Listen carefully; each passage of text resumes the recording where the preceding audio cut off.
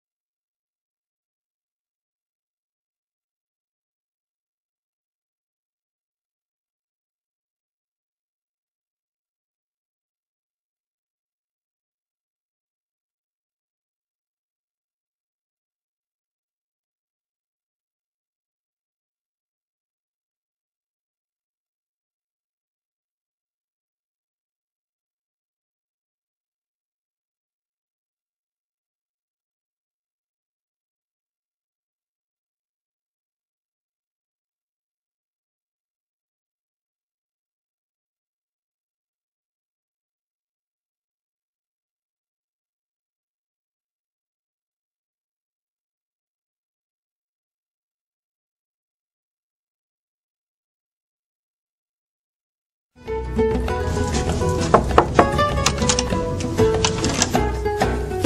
morning. I'm Dr. Jeremy. What can I help you with today? Good morning, Doc. I'm Joint Commission Guy.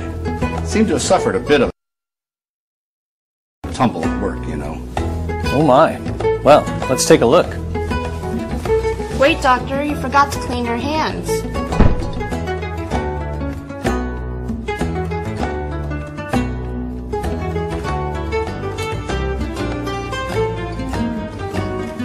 Well, now that I've cleaned my hands, let's listen to your heart.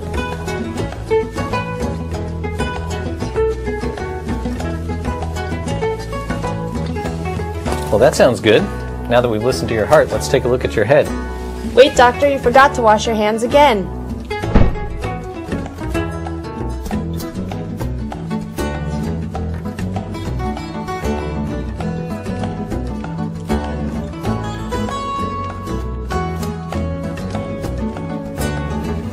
Now that I've cleaned my hands again, let's take a look at that head. Well, Joint Commission guy, you look pretty good to me. I think you're ready to go back to your fine work being all joint commissioning. Now it's time for me to check on the next patient. Hey, Doc, aren't you supposed to clean your hands?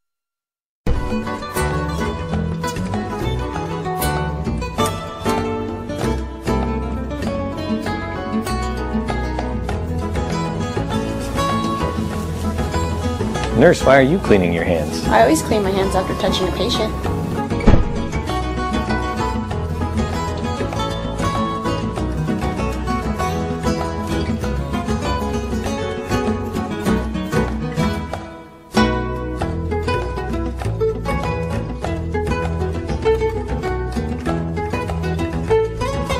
Good morning. Time for breakfast? Hey, this place has great service. Sorry, Joint Commission guy, I forgot my stethoscope. Hey, dog, didn't you touch the bed? Shouldn't you clean your hands?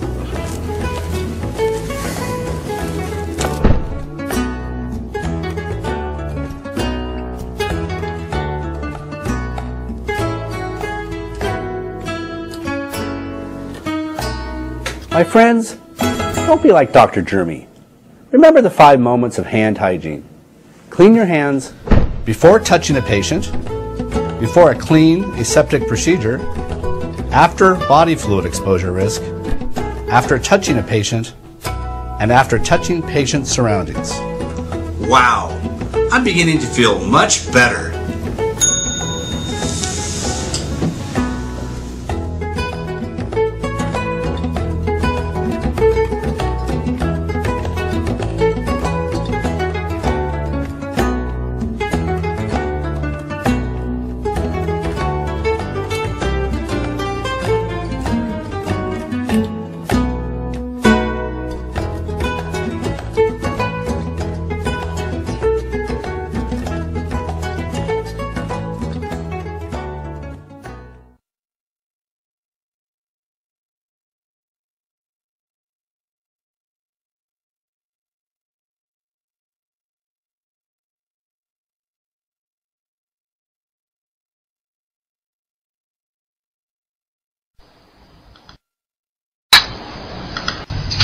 Lather hands with soap.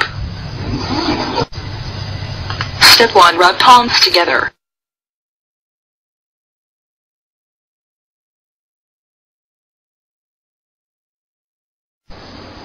Step 2. Rub the back of both hands.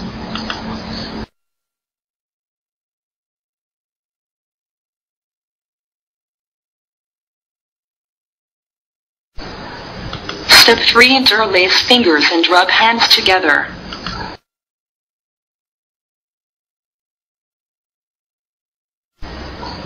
Step 4. Interlock fingers and rub the back of fingers of both hands.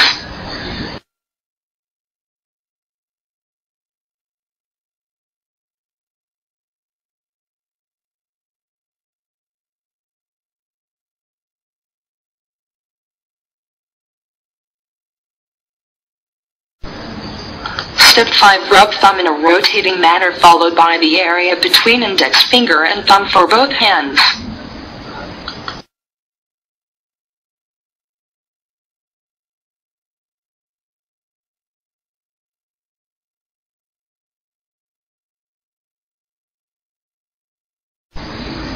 Step 6. Rub fingertips on palm for both hands.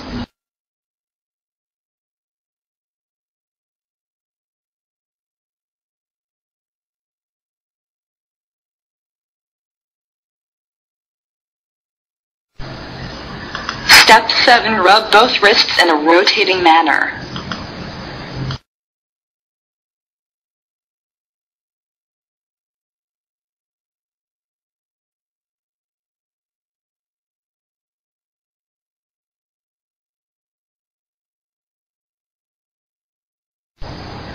Lastly, rinse and dry thoroughly.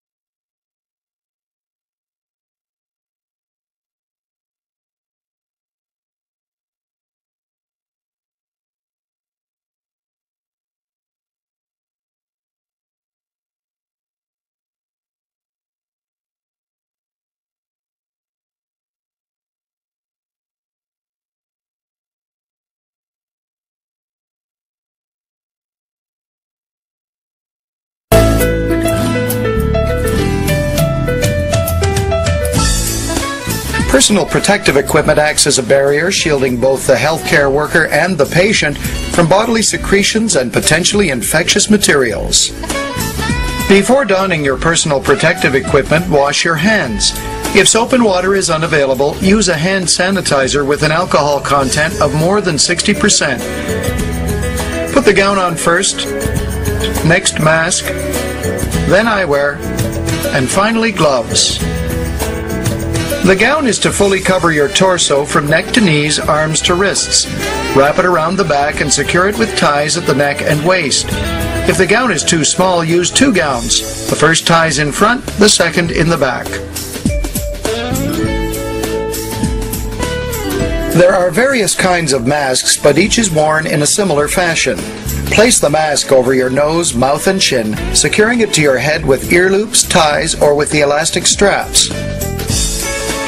Follow the manufacturer's directions when securing the straps to ensure a snug, secure fit. Position the flexible nose piece over the bridge of your nose, squeezing to fit. Adjust the mask so it is snug to your face and extends below your chin. Position eyewear over your eyes and secure to your head using the earpieces. If you wear eyeglasses, put them on first, then don your eye protection. If you anticipate splatter or spray, the face shield will provide greater protection for your entire face. Put your gloves on last. Insert your hands into the gloves and extend the gloves to cover the cuffs of your gown. Keep your gloved hands away from your face. Avoid touching or adjusting other personal protective equipment. Remove gloves if they're torn. Perform hand hygiene before putting on new gloves. Limit surfaces and items touched. Remove your personal protective equipment in the following order. Gloves, gown, wash your hands, eyewear, mask, and wash your hands one final time. All personal protective equipment must be removed in sequence and discarded carefully. removal is just as important since equipment is now contaminated. Grasp the outside edge of the glove near the wrist and peel away, turning the glove inside out. Hold it in the opposite gloved hand and peel off from the inside, creating a bag for both gloves. Discard. The gown front and sleeves are dirty, so it must be handled from the back and inside. Unfasten the ties. Peel the gown down and away from the neck and shoulder, turning it inside out. Fold or roll into a bundle and discard. Wash your hands before proceeding. It's important to wash your hands now because they may have become contaminated during the removal of your gown and gloves. The next step is removal of eyewear and mask, and you'll want to be especially sure to have clean hands before proceeding. If soap and water is unavailable, use an alcohol-based hand sanitizer. The outside of the eyepiece is contaminated, so handle eyewear by the earpieces. Pull away from your face and place into a designated receptacle for cleaning. The front of the mask is dirty. For removal, handle only the ear loops, ties, or elastic straps. Remove it from your face in a downward direction and discard. To complete the process, perform hand hygiene one more time. Remember to perform hand hygiene anytime you suspect your hands are contaminated during removal of protective equipment. Let's review the steps for putting on and taking off personal protective equipment. First, wash your hands. Put on your personal protective equipment in the following order gown, mask, eye.